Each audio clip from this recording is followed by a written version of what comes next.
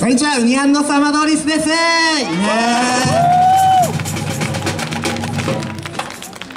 はい僕らはですねえっと、まあ、今日は世界のグルメ展ですけどもブラジルからやってきました。ブラジル音楽をやっている団体でございます。はい皆さんサンバというとね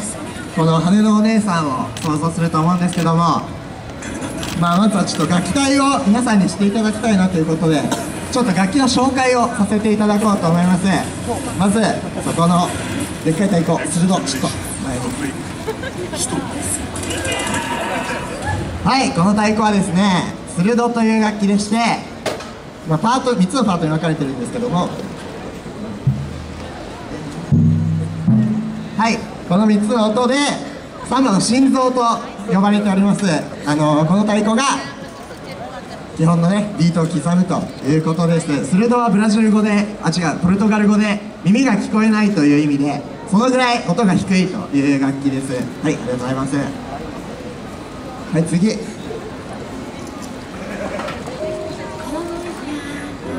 これヘピーキという楽器でしてサンバの王様と言われております。ヘピーキです。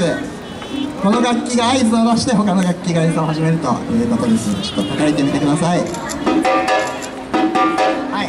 ってね左手で音を出すんですけどめっちゃ痛いです。ド M がやる楽器と言われております。はい次会社。はいこの楽器は会社という楽器であのー、サンバの血液と言われております。この楽器がねあのー、ないと他の楽器が音を合わせられないって言われるぐらい大事な楽器です。ちょっと叩いてみてください。はい。ありがとうございます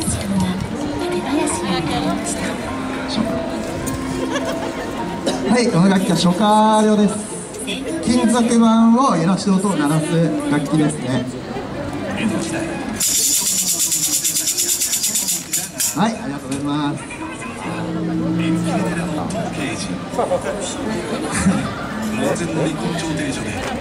はいこの楽器アゴゴという楽器でこれは唯一他のクラシックとかでも使われるんじゃないかと思います。あのカウベルを2個つなげてあのまあすげえうるさい楽器なんですけど、まあ、今日はちょっとね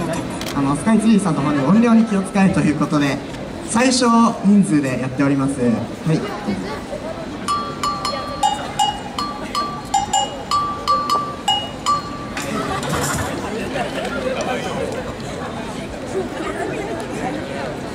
この楽器タンボリンという楽器でプラスチックの触手みたいなやつで音を出すんですけどもちょっと回しながら叩くっていうすごい特殊なこれがサンバの花形と言われる楽器で動きながら叩くすげえハゲてな楽器です。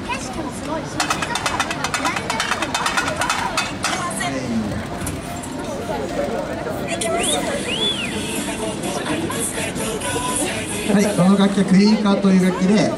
サンバの宝石と言われてるんですけどもあの太鼓に刺さってる竹ひごを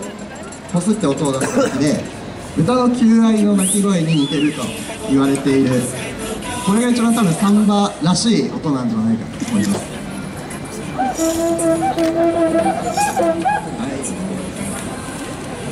はい、はい、この7種類の楽器であのリオのカーニバルでね使われてる楽器なんですけどもどれも、まあ、リオのカーニバル実際は300人ぐらいいるんですけど今日はもう 音量制限がねありますのでもう最小で最小でやっております。これが最小です。これが最小で小数制でやっております。これこれが楽器隊なんですけどもでダンサーにもですね羽のお姉さんだけじゃなくてこの両脇に立っているシルクハットをかぶっているお兄さんたちマランドロと言われている人とですねあのまあお酒を飲んで酔っ払った男の人を表現しております。でこの隣にいる羽のお姉さんが有名なパシスタという種類のダンサーでまあやっぱ花形ですね。でもこの彼女たちはあの本場のカーニバルでも1000人以上いる中の1割ぐらいしかいないんですね実は。他はもう楽器隊ともう他にもいろいろダンサーがありましてパレードがあのー、羽のお姉さんだけじゃないよということを人に知っていただいて帰ってもらえればと思います。でまあ